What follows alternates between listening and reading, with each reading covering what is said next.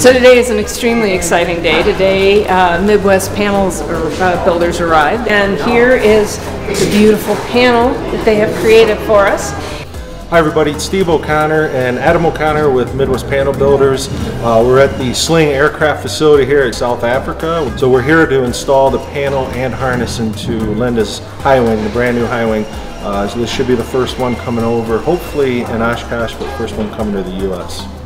They offer a lot of really cool features like uh, push to start um, with a key fob, so this system's getting what we call advanced IFR, so dual G3X touch with GTN 650. Um, she's also getting the second com radio option. Uh, we're doing the Sirius XM weather. She's going to be going um, outside of the U.S. with this, so a little bit of extra coverage on weather was nice for her. Um, and then uh, we're really kind of building this to be a great cross-country flyer. So with that, we've got Aithre's AVI 64, their new four-place pulsed oxygen system.